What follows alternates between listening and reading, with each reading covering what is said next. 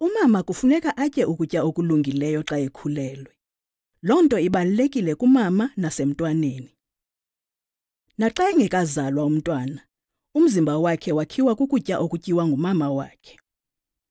Yaye xa umama womntwana esitya ukutya okulungileyo xa ekhulelwe, oku kwenza ukuba umama abe nempilo entle ade abeleke. Ukutya izinto ezilungileyo xa umama ekhulelwe kwenza ukuba umama abuyele emzimbeni nasempilweni msinyane emva kokubeleka. Xa umama encancisa, kubalulekile ukuba atye ukutya okulungileyo, okuya egazini, kuba ubisi lwakhe lwebele luvela koku kutya akutyayo.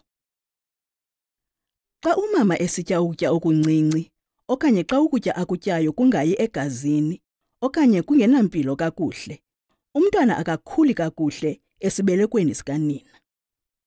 Oku kubizwa ngokuba kukungondleki, imalnutrition. Kungenza umama nomntwana wakhe bagule. Xa umama engondlekanga kakuhle, akabi namandla. angahle agule abe nezifo ezinokosulela nomntwana wakhe. Ukutya kakhulu xa ukhulelwe nako akulunganga kumama nosana lwakhe. Oku kunjalo ingakumbi xa esitya ukutya okuninzi okungalunganga, njengokutya okuqhotswe ngamafutha amaninzi, neelekese, neziselo ezineswekile eninzi.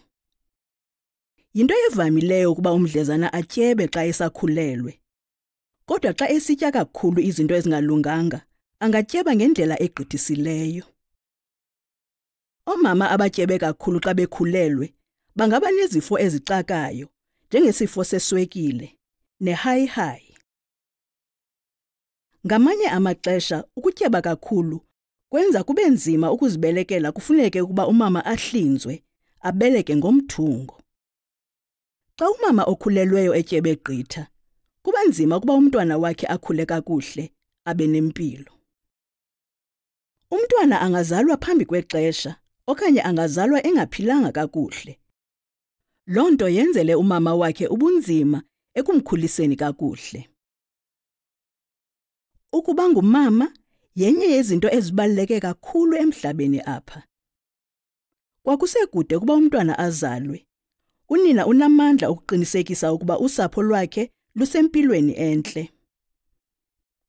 Ngoku ke makhe sithethe ngokutya okungancedayo ukhusele impilo yakho neyosapho lwakho.